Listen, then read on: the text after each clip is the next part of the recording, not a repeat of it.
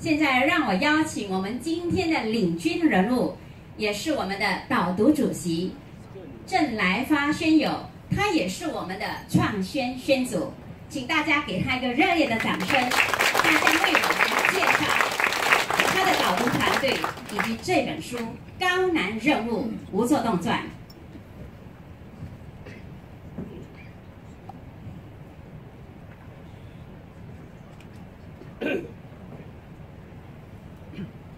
呃，各位企业领导，各位呃企业教主，各位女士们、先生们，大家下午好。为了节省时间，因为我们的时间很有限，所以我不一一称呼，对不起。今天呢，我们来导读《高人路认路》这本书。刚好碰到我们新加坡开户两百年，那么吴志胜呢，他是我们的第二任总理，所以导读这本书是意义非常重大。那么我的导读团队呢，有三个人，啊，我本身还有两位。那么长话短说，我们就赶快进入这本书。这本书有三百页。你可以在一个星期把它看完，但是现在我们要用四十五分钟介绍给他，给大家，不是那么容易的一件事。好，这本书的作者就是白胜辉，白胜辉你们或许不认识，他在《海峡时报》，所以在华社认识他的人不多，他就在现场。请他来一下看一下。不过，你们应该比较认识另外一个人，就是白振华，就是他的爸爸。然后我也沾了一点光啊，因为我跟呃白水长呢是校友，我沾了一点光。他是文学的得主，文学奖的得主。那么已经出了七本书了，到现在，啊，第二集就是《吴作栋传》的第二集将要出版，是吧？很快就要出版。那么是一个非常年轻杰出的这个作者。那么他的翻译这本书呢是林婉飞，林婉飞很可惜，他今天没有来。所以我就不再呃进一步介绍他。那么我们看读这本书，为什么要读这本书呢？这本书非常的重要，因为它破解了很多过去新加坡的这些谣言，还有疑团。比如说，他是不是一个卵栖者？他新加坡的执政的软席子，啊，姓翁嘛，是不是？然后呢，李李总理就是目前的李总理，是不是李光耀刻意安排的？李光耀是不是要打造一个李氏王朝？这些疑问在这本书里面都一一有了他的答案啊。这本书。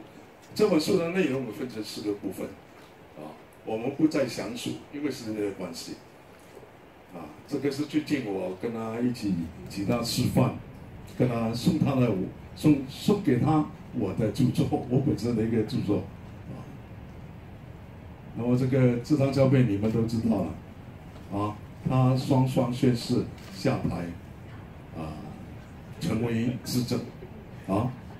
真的下台不是假的下台。好，现在我就进入我的导读的部分。我们来看一看吴作栋本身的人格特质在哪里。因为综合了这本书之后呢，我把它啊呃归纳成他的优势跟弱势。他的弱势在哪里？我们看看。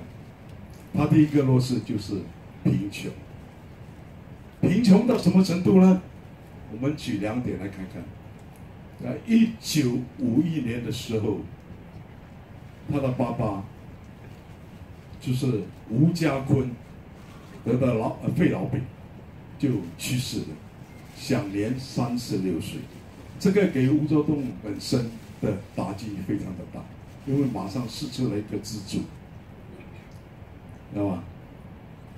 然后死前呢，把他叫到床边来，跟他讲了几句话，用福建话讲，就是“你爱好好照顾你的老母，你的小弟小伯，骨力读书。”就是讲了这几句话，听得懂吗？福建话，听不懂的话就是说，我要走了，那么你要好好的照顾你的妈妈、你的兄弟姐妹，然后呢，不让他去，就是好好读书，啊，就这样就走了。死的时候就三十六岁，当年吴志东就十岁，所以给他的打击非常的大。这个是第一点，第二点，他进入了 来福士学院的时候，啊，糊里糊涂的当成了历史协会的会长。那么，为了主办一场这个呃讲座，就请了马绍尔当年的首席部长，还有请了反对党的领袖。李光耀，当年的反对党领袖是李光耀出来做一场演讲，呃，题目叫做了“民主的坐标”。李光耀马上答应他。那为了那一场演讲，他必须上台，结果他没有长裤可以穿，所以呢要找他的爸爸的长裤出来。那么爸爸没有他们那高，没有他那么高，所以他要改那件长裤，把叫他婶婶把它改长。就穿了那件长裤，就当着这样，所以既然穷到这样，对吧？这个穷的部分。然后第二，我们来看他的华文，他的华文到现在还还是比我们差，对不对？还是比我们差。所以他认为呢，这一点就是他的要命的地方，他最吃亏的地方。他认为他这一生，他最大的遗憾就是他没有把。中文学好，那么他家人全部都读华校，只有他读名校。那么我认为，个人认为呢，他是因祸得福了。假如他读华校的话，他只能够成为总统，不能够成为总理，对吗？因为我们的王鼎昌是读华校的，只能当总统，对不对？这个是一个笑话啊。那么我们来看第三点，他是政治菜鸟，他对政治的兴趣呢，可以讲是零，完全没有，对政治一点认识都没有。他的爱好是什么？他想成为大学里面的一个研究学者，或者是一个记者。他后来为什么会加入政治呢？有两个原因：第一，B A B 请他喝咖啡。B A B 请他去喝咖啡谈，要薪要需要薪水，他个人认为国家需要我，我必须出来，这个是第一个原因啊。那么第二个原因呢？因为他得到政府的助学金，所以他必须要出来为国家服务。这个是我们建国一代人的想法。现在年轻人会不会这样？有没有可能？香港今天的年轻人是怎么样？你去想一下。第四个弱点呢，就是木讷，这一点是最要命的。这一点是差一点，他没有办法成为总理，啊，没有办法成为呢。但是为了解决这个问题呢，他请了英国一个语言专家。叫做 Sue Griswold 来教他做演讲，来做演讲，所以他学了八个月，结果把这个问题解决了。他怎么教他呢？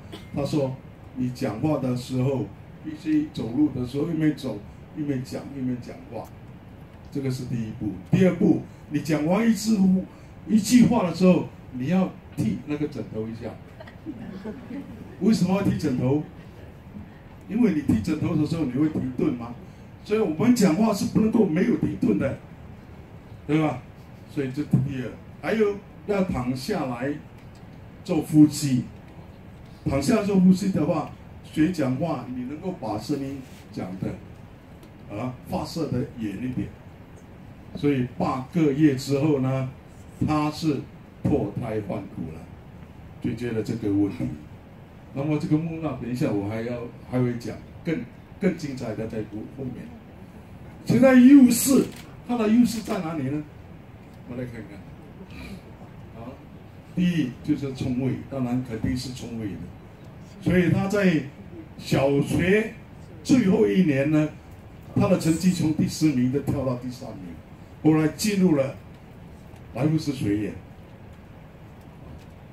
那么莱布斯学院毕业的时候，后来又到美国去威廉姆斯学院就读，所以他的呃聪慧程度肯定是占别人之上的。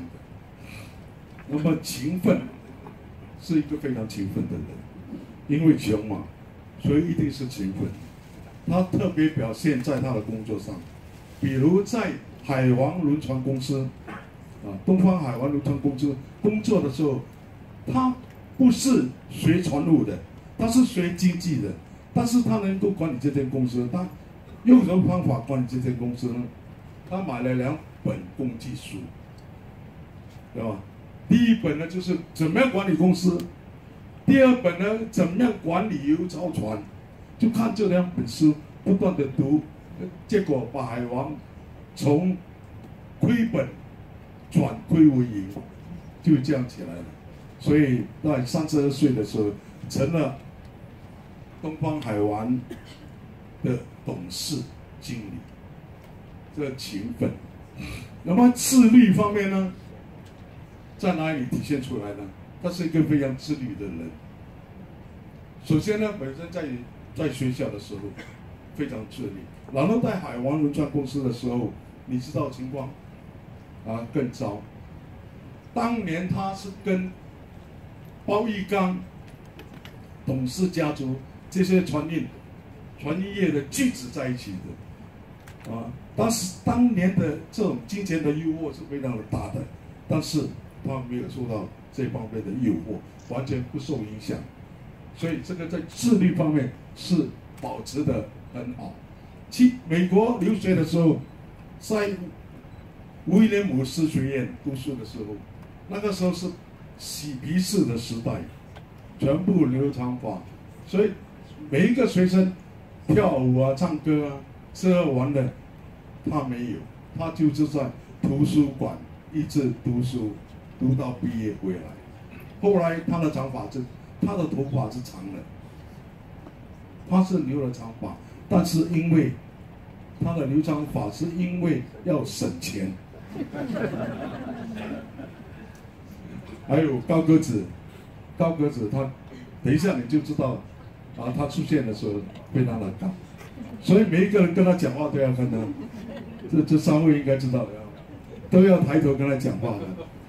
所以在电视机的时候，他让人有一种感觉，高高在上的感觉，以为他很高傲。那么亚洲周刊在一九八九年的时候。也写了一篇文章，说这个人很高傲，这个人呢，因为高高在上，啊，都是往下看，对吗？后来他问李光耀，他这个问题怎么解决？李光耀告诉他，以后拍电视的时候，叫他们拿凳子站在凳子上面，那么看起来就平行，对吧？这个是一个好方法，哦，所以高个子。不一定是，啊，是一个优点了。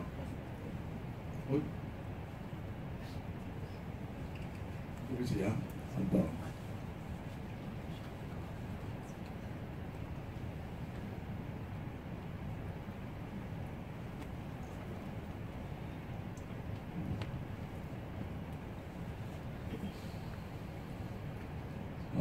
能力呢我们讲到能力方面能力超强。他从回国之后第一份工作就加入比莱的经济计划组。所以他开始写报告。那个是在新马分家之前的一年，他写经济报告，然后这个经济报告写的非常好，讲新加坡未来的发展。那么被当年的副总理吴清瑞看到了，非常满意。这个二话不说的就登在报纸上面。第二天呢，李光耀看到了，他就写一张字条，他说，在新加坡呢，发表经济报告只有总理才有这个权利。他吓了一跳，他不知道，因为他说这个是吴金瑞叫我叫发表的。但是呢，后来李光耀也没有责怪他，觉得他真的是一个人才。那么他后来也接到了这个韩瑞生的电话，找找他，因为要他来接班这个财政部部长的事情，所以他这个韩瑞生呢是他真正的伯乐啊，就是吴作栋的伯伯乐。那么最后呢，我要讲的话就是，那个，因为时间到了，后面更冷的还有其很精彩的部分，呃，我看我就等有时间我再跟大家来分享，好吧？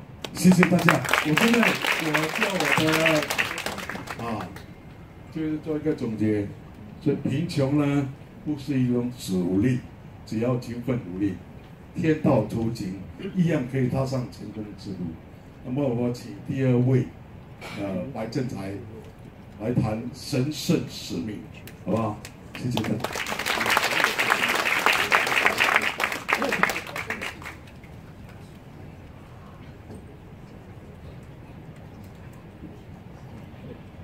各位啊，尊敬的最欢迎的唐江，各位七狗的会长。哦，啊，各位，